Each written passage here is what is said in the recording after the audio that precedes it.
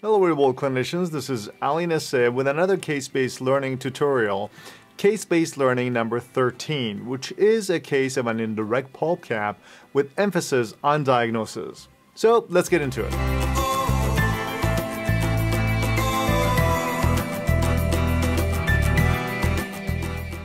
This patient was referred to me for endodontic therapy in tooth number 12. The referral was based on the patient's chief complaint of thermal sensitivity and discomfort to cold, along with a radiograph that showed a large distal carious lesion approaching the pulp. But as we know, a proper diagnosis always requires a minimum of two corroborating clinical tests that confirms an established pulpal and periapical diagnosis. Therefore, we should never make an endodontic diagnosis based on the clinical radiograph alone, even though it may appear like a very clear-cut case uh, on the x-ray.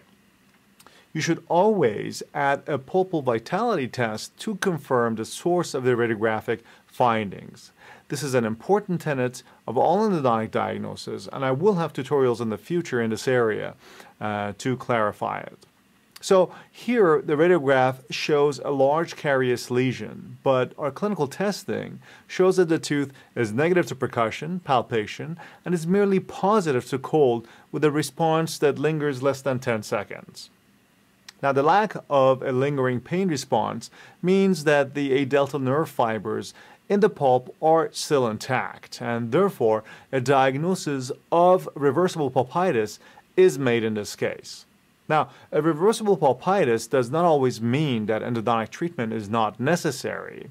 Um, basically, you have to remember that uh, treatment planning is really as much about uh, considering the prognostic factors and doing a risk analysis uh, as it is about diagnosis of a particular tooth itself. Sometimes the risk of necrosis outweighs the risk of preserving the pulp, especially when a major restorative work is planned and the tooth has some strategic value.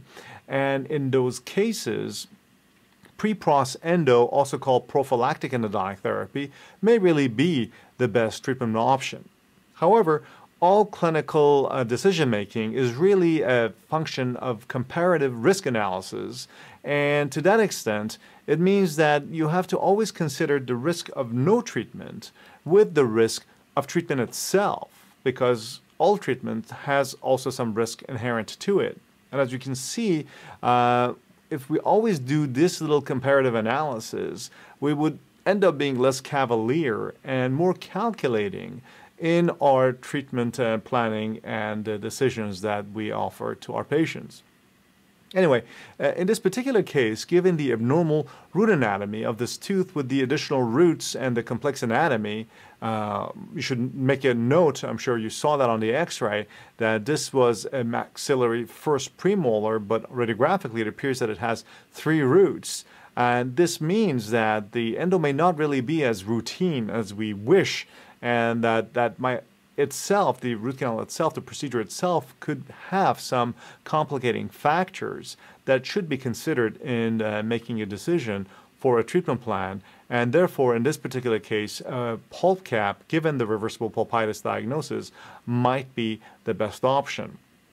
Now, in my humble opinion, whenever a question like this comes up, the treatment option that is usually the least costly or complicated to the patient should really be presented as the recommended option. Because let's consider the fact here that we can always do more treatment, but we can't undo optional treatment done in the past.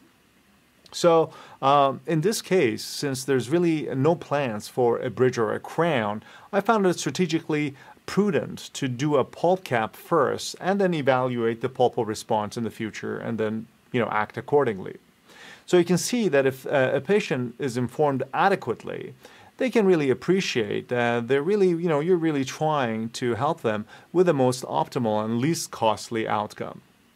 So after discussing the options in this case, the patient elected to do caries control first, and then uh, if we somehow manage to uh, avoid a pulpal exposure, then proceed to uh, doing an indirect pulp cap uh, based on the clinical findings at the time of caries uh, control. Now, if everything works out, the patient